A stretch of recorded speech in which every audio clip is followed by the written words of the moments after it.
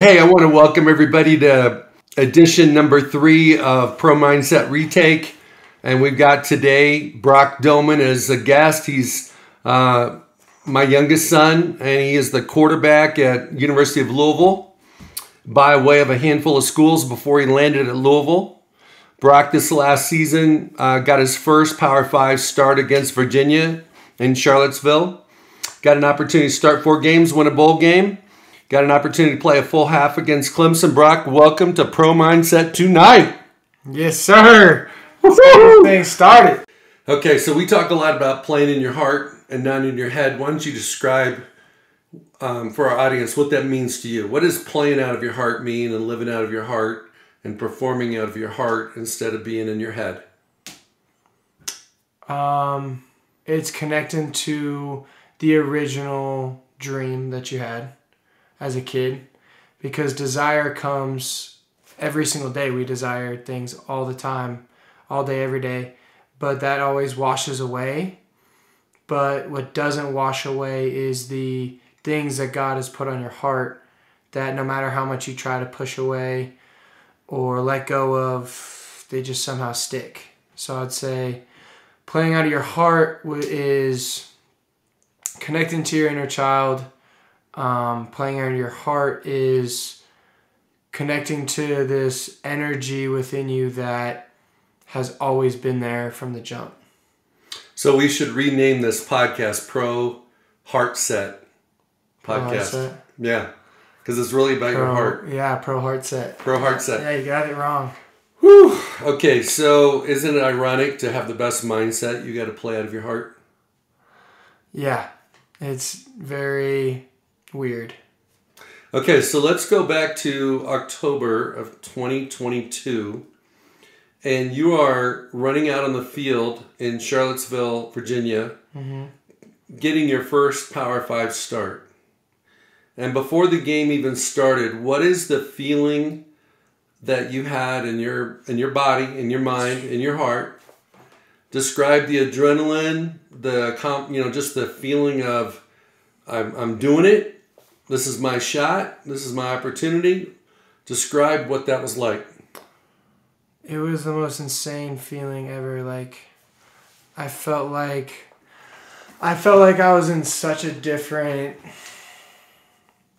world. Like, I was just, for like 12 hours leading up to the game, I just feel like I was blacked out in my own body of just like playing out everything it took to get to this point. Um, and then just the heightened energy within me was, I feel like I was just buzzing. Like there was so much going on internally because of how excited I was. So it was honestly really tough to deal with. Like really tough. You, I constantly had to remind myself that nervousness and anxiousness is just the body's way of prepping it, prepping itself to be able to withstand four hours of going to war and having that level of focus like there's a reason why something builds up within you beforehand and it's actually to help you not to hinder you. And so it's just all about how how you view that energy pregame. So what did you do that week that might have been different than what you do on other weeks? And what was your routine to make sure that you were totally locked in once that game started? What what kind of practices did you do? What'd you do? You know, uh, what'd you do in the in the hotel on game day?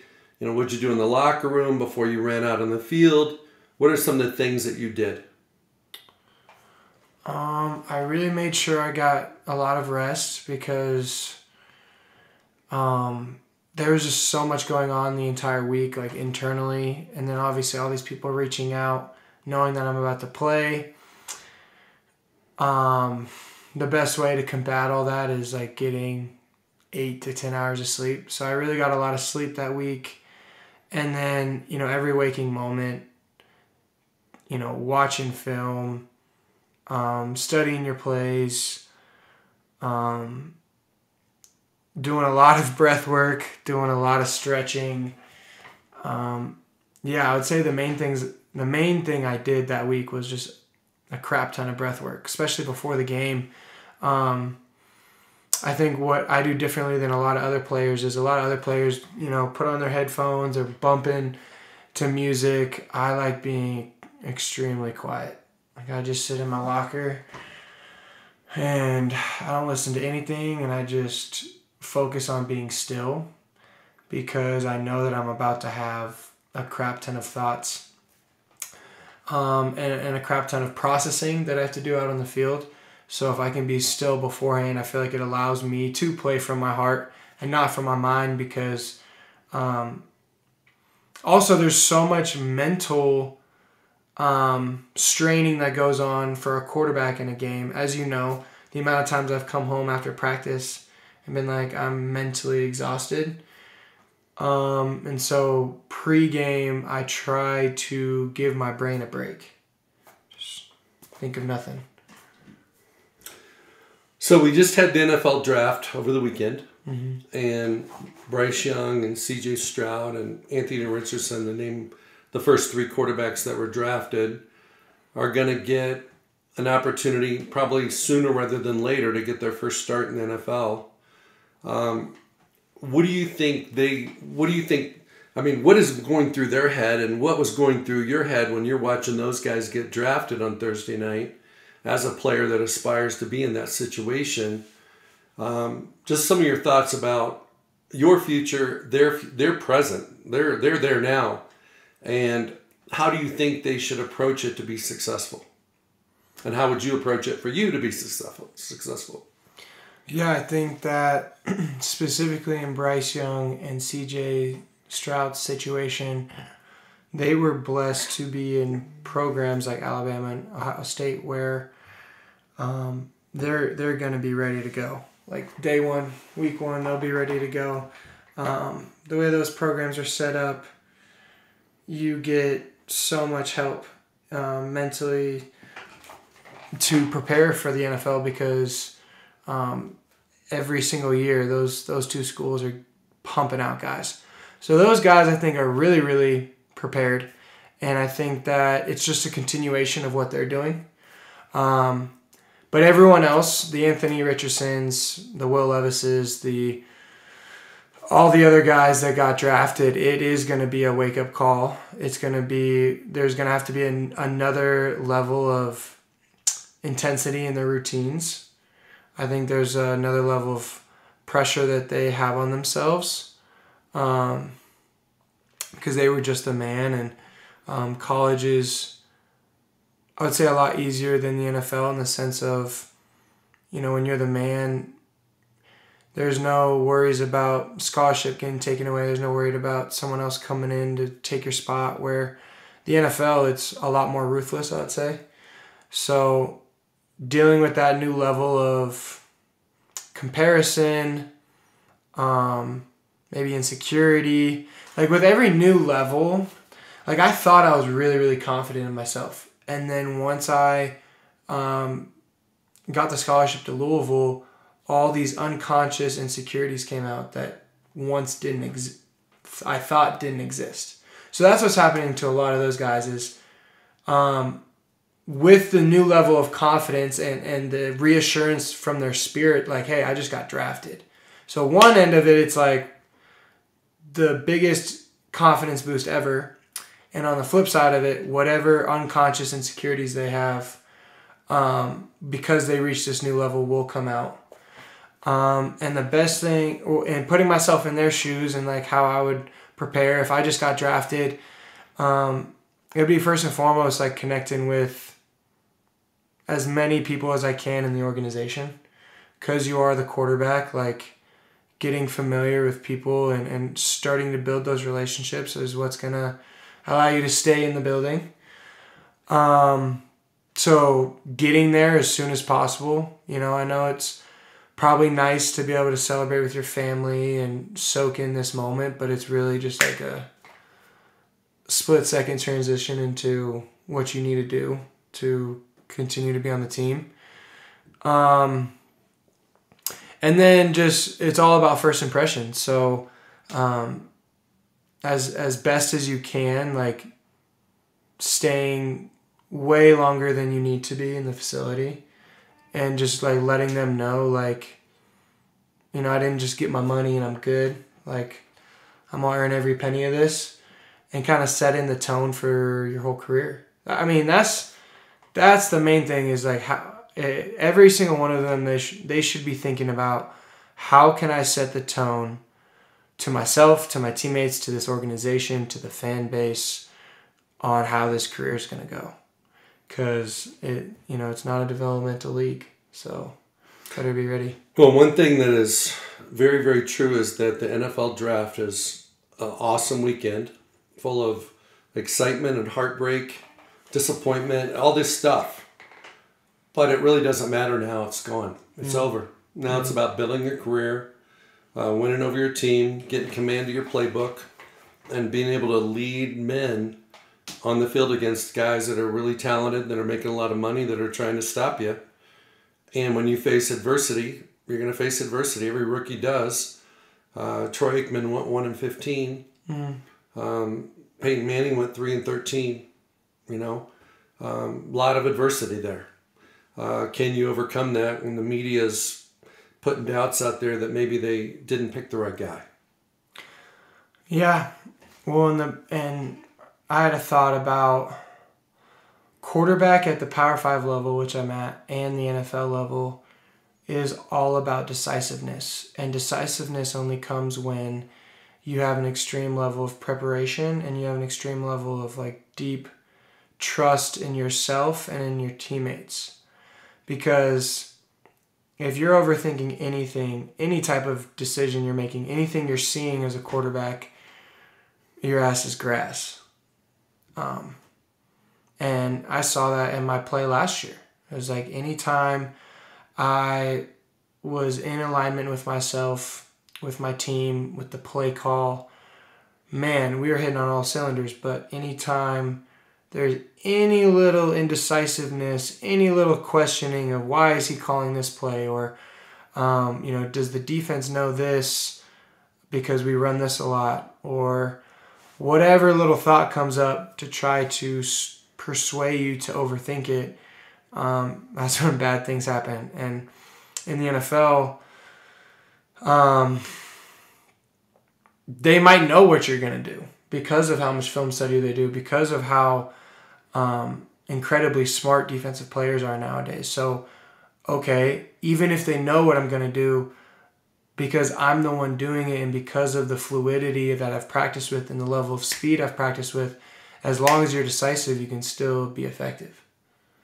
Well, one of the things that screams at me when you're talking like that is that the guys that know who they are, the guys that believe in who they are, the guys that think that they're enough, they have worthiness, mm-hmm. they love themselves, they believe in themselves, they can handle anything. And the guys that are like 99.9ers, not 100% sure that this is going to go great, it's going to go great until it doesn't go great. Mm-hmm. And whether it's an injury, whether it's a three interception game, or whether it's a pick six to lose a game in, in the two minute drill, then they crack, or they get they get they get sacked too much. I mean, David Carr got sacked too much; it, it kind of ruined his career. So the only way to survive is to know who you are. Fair, Fair. okay. Fair, and that's going to be tested every single game, Every day, every day. your own um, teammates are going to test you. Your coaches are going to test you. Yeah, and, and there's really there's really no room for error in the sense of you're getting the recognition, you're getting the money. With that comes you if if a left tackle, you know, misses his assignment, we can work through it. If a linebacker misses an assignment, we can work through it. But if it's, you know, fourth and five, games on the line, and you're not trusting it, and we don't convert, and it's because of the quarterback's fault, like, that's not really something you can work through as a team because it's already hard enough to get the other 10 to do their job really well. And so the quarterback has such a higher level of efficiency he has to be on because he has to make up for if one of the 10 doesn't you know do their job correctly we still are expected to be effective in that situation. So if all 10 are doing their job and you're not, you're not going to be in the league for that long. So, um, well, I would say putting that talk, putting that accountability on yourself. Absolutely, accountability is a good word. I would say that the coaches design the plays so that the quarterback can make a good decision regardless of what happens. Yeah. What breakdown, what what somebody when your left tackle does get beat, your right guard gets beat, your middle middle of the pocket pressure, it doesn't matter. You you've got yeah, answers for everything that might happen. So ultimately because the ball's in your hands, the whole team and the and the coaching staff is expecting you to make a good decision. Yeah, and I'm happy you brought that up. And that's what I mean by effective. Effective might be throwing the ball away. Like that's still a great play. And so there's just no room for error of making the wrong decision because of how amazing offenses are structured nowadays. There's literally a decision, a right decision for every single situation. And so because we ha- it's not like there's one right answer because there's so many right answers we are expected to make one of the correct right answers okay so you've got a new coach scott satterfield defected louisville and went to cincinnati uh, jeff Brohm came back to his hometown and his home his alma mater and brought um, a lot of the coaching staff from purdue and he brought in a transfer portal quarterback from cal berkeley that used to play with him for four years um, at Purdue, Jack Plummer. So you've been competing for the uh, quarterback position against Jack and you know four or five other quarterbacks. Um, kind of share how that's gone, um, where you're at, how did you approach it. Um, certainly, Jack had the upper hand because you know those guys went in his living room in in uh, Arizona when he was a high school kid and convinced him to come to Purdue. Um, but how do, how do you handle that? Because as a quarterback, almost every quarterback out there faces similar situations like you're facing right now, where you may not. It might be a fair competition, but it may not be a fair competition. But you still got to go compete and be ready to go regardless. Yeah. So I was actually going to leave Louisville unless a new coaching staff came in. So I'm very, very grateful that the Brohms came in. Um, such an amazing system to be under. Like, it is an NFL offense. It truly is. There's so many options on every single play. It truly has grown my neuroplasticity in my brain from learning this offense. Like, at first, it was so overwhelming, and, and now that I have a good grip on it, which I'm going to continue to work to get deeper into it. Um, it has brought so much joy to me playing in the offense because um, there's this new level of confidence I have out on the field of like, because of the play designs, like of how much more effective I can be. Um, when it comes to how have I dealt with the mindset of working through this new competition. Um, it's been a lot different. Um, last year, I definitely had some strengths that the other quarterback didn't have, and so, um, but then I also dealt with that. I knew that there wasn't a competition, and so breaking through that was really, really huge for me in my confidence in in my Lord and Savior and in my confidence in myself, um, because I very well could have not played a single down last year. Um, and so that confidence has rolled over into this year. Just knowing that, you know, when God has placed something in your life, um, and when He anoints you, that it's going to come to pass. And I feel anointed, and I, have always have been. And um, circumstantially, again, it has been tough because um, Jack has an amazing understanding of the offense. Um, he's very efficient in it, and he's he's a damn good quarterback. So it's been awesome to, to learn from him, to compete against him. Um, you know, he's a good dude as well. So I think we, all of us in the QB room, specifically Jack, Conley, and I, we all um, have really good ball talk together and we're all, you know, getting extra hours in watching film together. So that's been a lot of fun. Um, it's been really cool to see that I can be friends with the people I'm competing with and genuinely have like a mutual respect for each other. Um, I think that it has made me find a even deeper level, which every year I'm dumbfounded by the fact that there's there's even more levels to this game called life. And I think every time you reach a new level, you're like, oh well, okay, like this is it. And then the next year goes by, and you're like, wow, that was not it. There's a deeper level. so I've been finding that in myself, um, which has been really fun and really challenging. Um, I would say this last semester was one of the funnest six months of my life and also one of the most challenging, but I'm starting to realize that when you truly are living out your dreams, that's going to be the case every single year. I'm going to come back on this podcast next year and you're going to be like, oh, how was season? And I'm going to be like, it was the hardest season of my life, but it was the most rewarding season of my life. That's just, it just comes with it. Absolutely. I had a really good conversation today with an XFL OC, and we were talking about just the demeanor of the quarterback room. That guys have to pull for each other. There has to be a clear QB1. QB2 has to support QB1, but QB2 has to have QB1 energy. QB2 has to have QB1 preparation. He has to have the relationship with the with the number one team on offense, just like QB1 does. And when that happens, the best thing can happen for the team. Mm-hmm. And there are some quarterbacks out there that can't be QB2s. And the NFL teams know who they are because if they're not the starter, they don't want them in the room.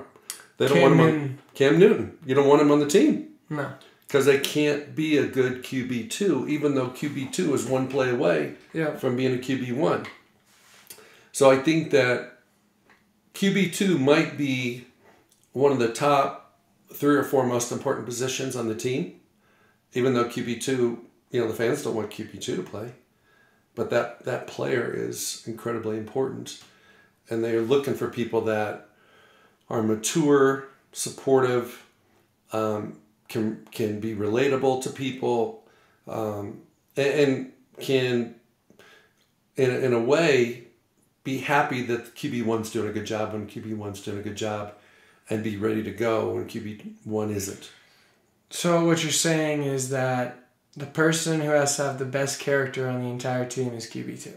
QB two is tested for sure in, a, in in character for sure, no doubt about it. No doubt about it. Okay, so you've got new coaching staff, you got new offense, um, you got some good players returning. What do you what do you foresee for Louisville football for Louisville fans that might be out there listening? Um, what can they expect from your team this season when you play, you know, Florida State, Clemson, Notre Dame, North, you know, all these teams in the ACC? What can they expect? A very competitive team that is going to be in every single game.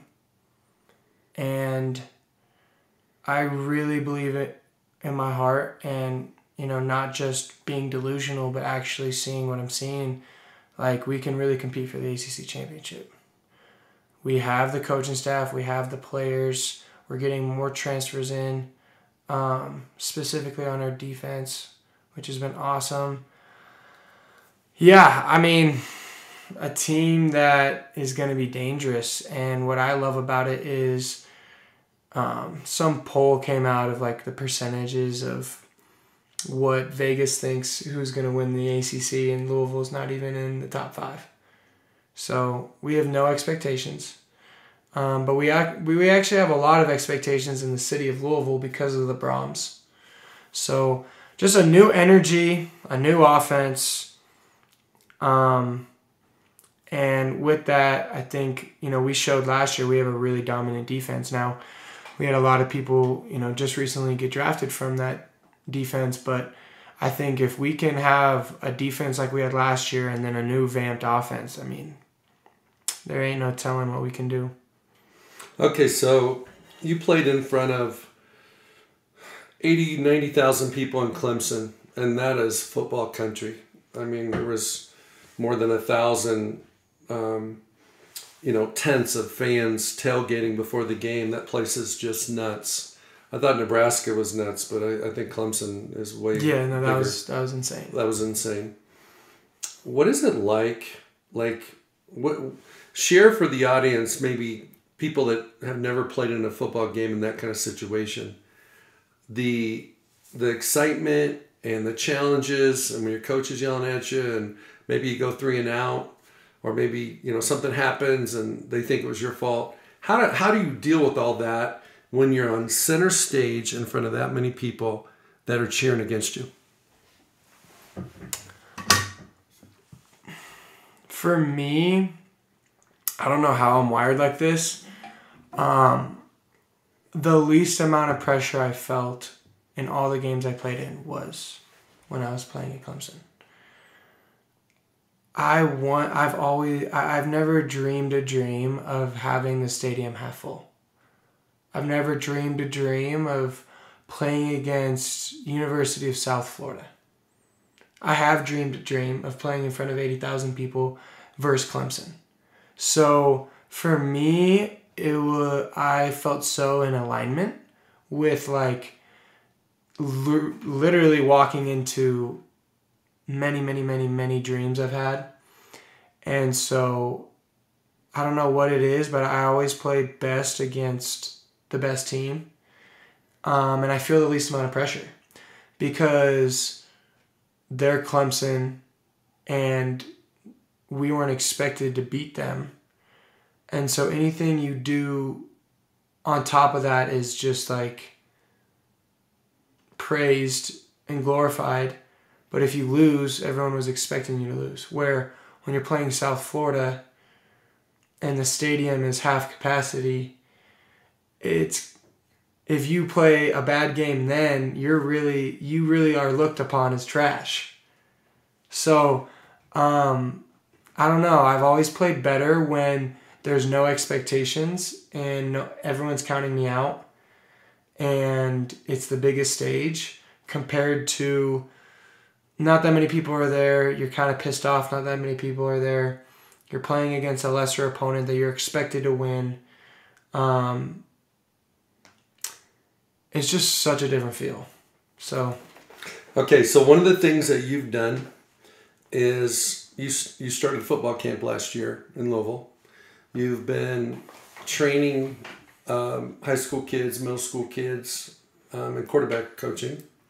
Kind of share what is that? What perspective has that given you? Because most of the, most college football players spend all their time in the stadium or go to class, or hang out with friends, and here you are in the community dealing with normal people that have kids that want to that want to be in the situation that you're in. Um, what has been your perspective on that? I think it's been so necessary for me because it's really humbled me in the sense of, you know, you're, you're not too big for anybody. And I think the athletes that are always just in the facility and um, maybe they're got the blue check on Instagram and got all these followers and are never really actually tapped into the community, but the community loves them. Um, I think they just view themselves as a superstar, untouchable, I'm better than you attitude, where when you get into the community, when you work with kids, um, you know, kids kids treat you as their best friend and they've known you for an hour, right? So it just hum- it just humbled me of like I I view myself as a big brother to, to the guys that I train. Um, and then at the football camp, it was just such a cool experience to see, honestly, how amazing my teammates did at coaching, and then seeing the look on the kids' faces afterwards of just extreme satisfaction with the last three hours of their life. Um, so yeah, just it kind of brings me back down to earth. I would say in, in the best way possible. Of like, I'm not untouchable. I'm a regular guy. Um, that the whole purpose behind this big platform that we get is to go into the community and show everyone that you're just like them. You just were naive enough to believe in yourself to an extreme amount. You've shared with me before that um, coaching has helped you understand a little bit more about playing. Why don't you share a little bit about that? If you can teach it, mm, I'd say in 99% of things, if you can teach it, you can do it really well. So, and then it's just so many reminders to myself um, and so many extra reps. You know, um, it's funny. I try to articulate my words the best I can, but sometimes my clients are still very confused on what I'm trying to get them get out of them during the session and the second I just show them it that's all they need. That's all they need. They don't need any of my words. They just need to show me what I'm asking out of them out of the drill. So um, it's really it's really brought a new level of awareness to how extremely important the basics are because that's all I'm teaching them and how the basics are I would say like 60, 70, 80% even of your play. You know, the Mahomes, Josh Allen stuff is less than 20% of all the plays, right? Um, you know that that shows up on the highlight film and everything like that. But I would say, I mean, if you looked back on Josh Allen's year, I'd say probably seventy five percent of his plays weren't the crazy stuff that we see, right? It's only about 25, 20 percent. Um, Might be less than that. maybe less than that, Might be ten percent. right? So, um, you know, every young kid right now wants to have a sidearm and, and wants to just lose their fundamentals. And I would say that the longer you've been in the game, the more you can mess with your fundamentals. Like Aaron Rodgers right now, when he's in OTAs with the Jets, he can do whatever the F he wants with his arm angle because it's so innately engr- engraved in him when the lights are on and you got to make a throw he's going to have the right he's going to have the right mechanics. But a guy that's you know 8 to 18 you haven't put in the 10,000 hours. So if you're doing the 10,000 hours as if you're a 38 year old veteran thinking you're hot shit like you're not gonna you're, you're doing the wrong 10,000 hours so I remember for me, and you, you took me to a million quarterback sessions, how insanely important it was for me to constantly um, be so focused on my mechanics. And then it really wasn't until, I mean, I would say I was still focusing on my mechanics probably up until COVID. I mean, when I was three years into college that I felt comfortable enough to really like start messing with it a little bit. Um, and it, and that was because also I was throwing in the front yard in JoJo's yard in Nebraska where it was just like let's let's figure out you know screw what it looks like let's figure out how to launch this thing get a lot of power on it um, spin it well so yeah it's been it's been such a blessing to be able to um, get back to the basics within myself because I mean I'm getting paid to do extra reps with these kids. It's awesome. You mentioned your brother JoJo. Share with everybody what JoJo's up to. Yeah, he's in OTAs right now. Um, going into his second year for the Colts. He is a linebacker and a long snapper, and really anything you need. Um, he's so versatile, and uh, he's, he's doing really well. He's killing it. How cool is it to have a big bro that's playing in the NFL? I mean, I think for me, it's been necessary. Um, he has, he's always he's always paved the way and shown me what's possible. And I mean, I knew um, we had the capabilities of playing in the NFL when we were young, but um, to actually do it and to actually you know be on a fifty three man roster, no question, n- no concerns for the first year. Like that's pretty insane as an undrafted rookie. Um, you know, him being an All American in Nebraska, like so inspiring.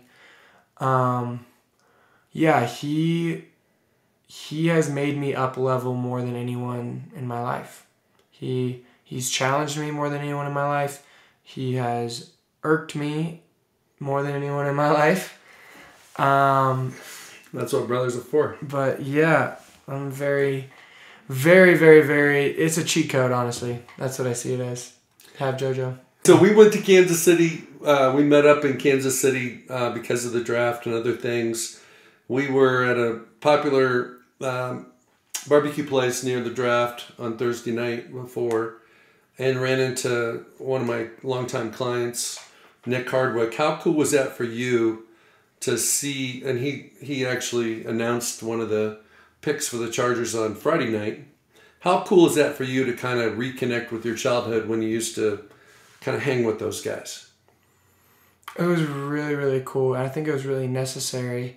Um, I think that was our blessing for showing up to Kansas City. Was that experience, and for me being able to talk to Nick Hardwick and then also talk to Joe Staley. They are just, you can tell there's they're they're such men about how they live their lives, um, how there's there's order, there's discipline, there's structure, um, there's this playfulness, there's this and playfulness comes from confidence. So there's this deep level of confidence they have in themselves, and the way they carry themselves um, was so so inspiring to see. And I don't know, I just I feel like I was a sponge that 40 minutes I had with them, and um, it showed me that who you are and how you go about every single day, every single situation. They both seemed very emotionally sound. Um, and I think that's something that I can continue to get better at is like, you know, it feels like if adversity hits those guys, they're, they're still the same. You know, they don't flinch, right? And I think um, we see too many people when adversity hits, we we get really dramatic and we get really emotionally out of sync, and it takes us a while to like catch ourselves and get ourselves back on track. And I see guys like that where they're just plows through every storm. Um, and it's, you know, it's the habits they've had in place, it's the thoughts they think, it's the people they surround themselves with, it's, um, you know, a combination of a lot of things. Um, but yeah, they, I can already, I, I don't even have to know their bank account numbers, but um, they are fine without football because they are both probably killing it in, in business. And um, knowing that football is a ticking time bomb it encouraged me just like outside of football like how i want to carry myself and live my life. Because they were both non-football players that we were talking to. Um, yeah so just how much this translates over to being a businessman I think it was Joe that uh, kind of gave you some tips on playing quarterback. What did he share with you? he just shared like don't try to be anyone else. He shared um, that Jimmy Garoppolo was a quarterback that he was so grateful to have quarter one through three, but when the fourth quarter came, um, he got a tight asshole, and that comes from wanting to be someone else. You know, Jimmy was behind Tom Brady for a couple years, so I mean that makes sense. Wanting to be that level of clutchness, and you know I can see that because a part of me um, wanted to have Malik Cunningham running running ability. You know, it's just natural. Like I, I will I will never have Malik Cunningham running ability, right? But I am still an efficient runner. I showed that versus Virginia, right? So I can still get it Eh, so it's it's not trying to be this perfect person. It's not idolizing someone else's ability. And it's truly being yourself and knowing that actually being yourself is not going to be enough at certain moments and accepting that. That hey guys like yes i am your quarterback of your organization but i'm also human. And i am going to fall short at times and i am going to disappoint this team at times and having that level of grace in advance and knowing that and then just doing everything you possibly can to make those moments as minuscule as possible Well, one of the things that I think is everybody's superpower is being you. Mm-hmm. And when you start trying to be somebody else, you lose power. And the world teaches us and shows us and tells us that who we are is not enough. But our superpower is when we connect to who we really are. Agree, disagree? Agree. Okay. I've interviewed you a couple times for Pro Mindset. Why don't you take the mic and interview Dad Hmm. and ask me whatever you want to ask me? I love that. All right, Pro Mindset Podcast. This is Brock Domann here. Um, I cannot wait to interview my dad. So, being a sports agent for what thirty plus years now, Yes, sir. um, you've seen so much success and so much failure. Um, who is what attributes are the type of people that you're looking to represent? Well, I think the people that I'm looking to represent are guys that, first and foremost, have tremendous belief in who they are. They're comfortable in their own skin. Because the NFL kind of discovers and uncovers the frauds. And those are the guys that get cut first, regardless of talent, unless they're like a first, you know, top 30 pick or something. The second thing I'm looking for is guys that can um, hold on to their dream even though their circumstances are not in alignment with their dream. Um, a lot of guys over the weekend that got drafted, their dream and what happened was not the same. You know, there's probably 100 guys that were expecting to go in the first round. There's at least 110 or 120 players that over the course of the last year, since last year's draft, were projected at one point in time to be first rounders. Maybe it was in September. Maybe it was in July. Maybe it was preseason, but maybe it was a month ago. They didn't get in, they didn't get their name called uh, because of a forfeiture by the um, Dolphins. There was only 31 draft picks that went in the first round. So you're constantly not in alignment with your dream. And so what happens is a lot of guys quit in their own head. And I would say the third thing I'm looking for is that, you know, there's a lot of, like, all these guys that got drafted, they're all good dudes. They're all good dudes. Maybe one bad apple, but there's majority of these guys are good people. Mm-hmm. The guys that sign as undrafted free agents, good people, and they have lots of talent. But the reason why I have Pro Mindset podcast is because the differentiator is really what's between the ears. And now that I've studied the, the mind, I've realized it's really what's in your heart. Not a lot of guys can go there. Yeah. Not a lot of guys can uh, deal with the adversity of showing up for OTAs and the coach says, "Hey man, where'd you go to school?" And the player's like, "Well, dude, you drafted me. You should know where I went to school." Or maybe the front office drafted the player and the coach wanted somebody else. So the coach has an axe to grind to want to show the front office that, hey man, this guy ain't that good. And so he takes it out on the player. If the player doesn't have belief and play out of his heart, he's done. He's done. He's not going to make it. Um, and so because of the the NFL's like a pressure cooker. So if you don't have a turbocharged mindset, you won't make it. Nick Hardwick had that. The guys that I've Ryan Lilja didn't even get drafted. He had it. So what I'm looking for is the guys that have like a turbo mindset to be able to handle whatever comes their way because you know from playing college football there's a lot of bullshit that comes your way. Hundred percent. Another question I have for you.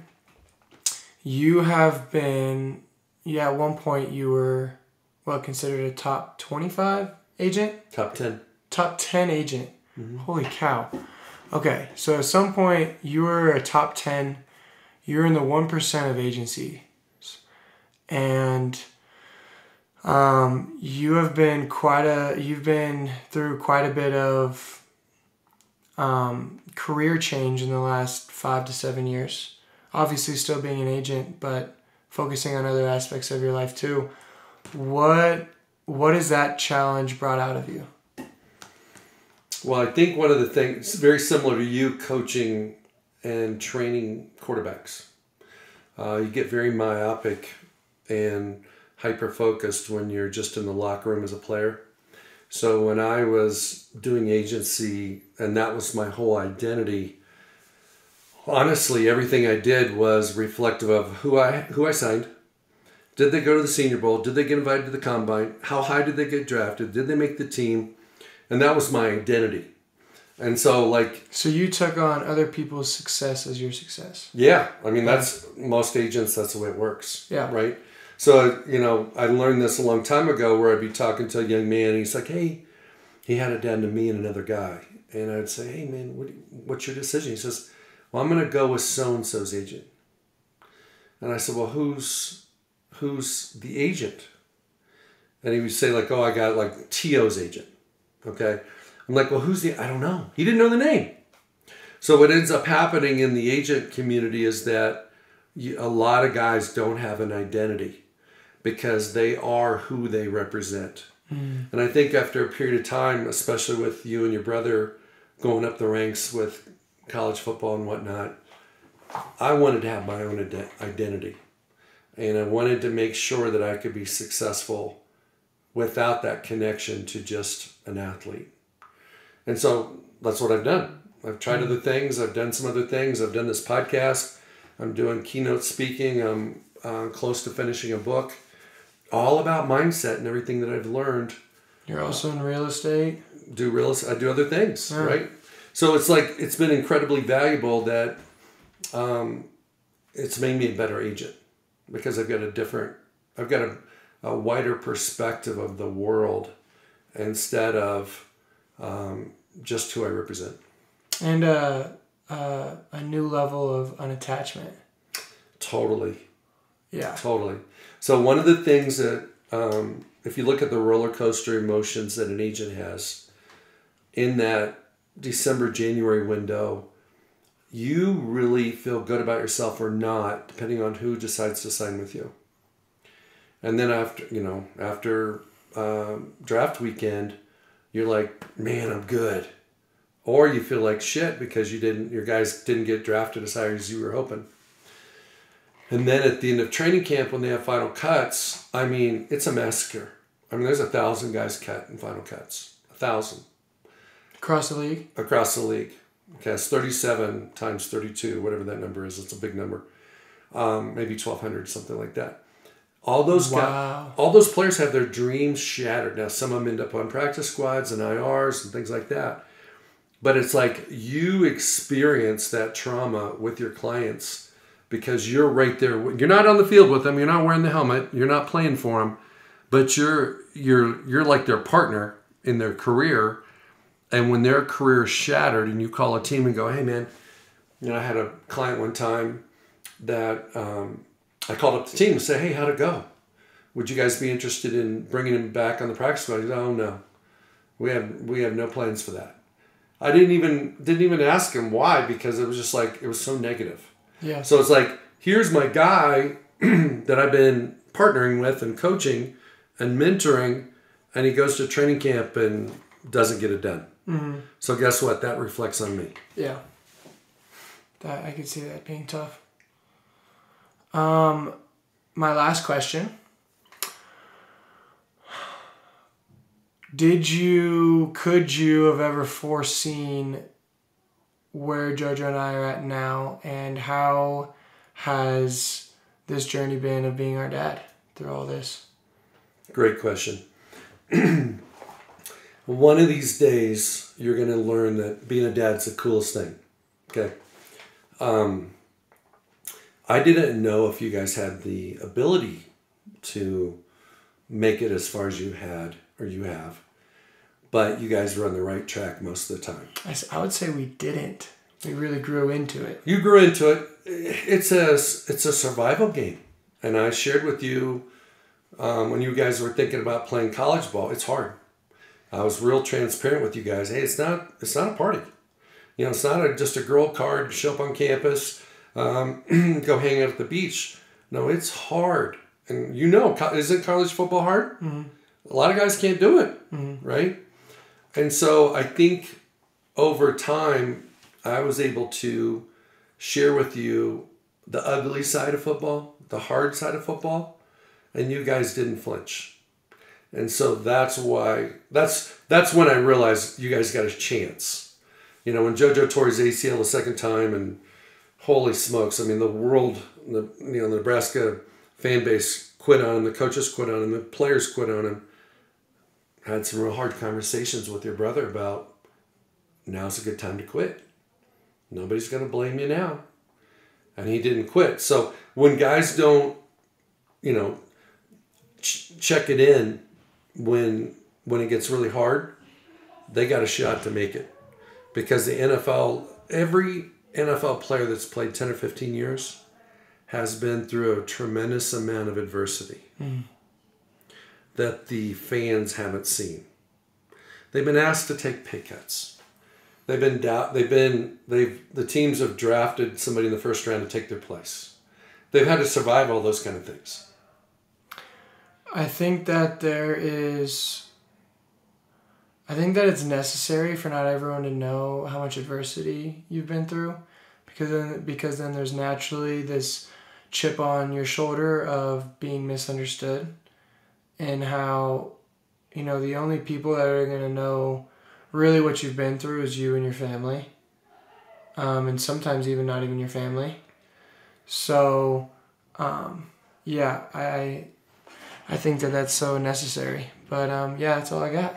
That's okay, good. I want to thank you, bro. Great job. I want to wish you nothing but the best in 2023 at Louisville. I know you're going to be ready, and um, most most likely you're going to get an opportunity. You're just not going to know when it's going to come. Could happen in July, could happen in October, um, but just capitalize on that opportunity when you get it. Brock is coming back in 2023. I want to thank you for tuning in to Pro Mindset Podcast. If you enjoyed the listen, please leave a five star rating. If the message was a vibration you connected with, and you have any friends, family, or colleagues who would benefit, then please share this episode with them. You can follow Pro Mindset Podcast on the following social media platforms Instagram and YouTube, Pro Mindset Podcast, Twitter and Facebook, Pro Mindset Pod. LinkedIn, Pro Mindset. We will drop our shows, Pro Mindset Podcasts, every Wednesday morning, and we invite you to listen and subscribe. Also, don't hesitate to check out our archives to listen to previous shows. And finally, I encourage you to embrace a Pro Mindset truth from today's show. It just might be the key to unlock the pro inside you.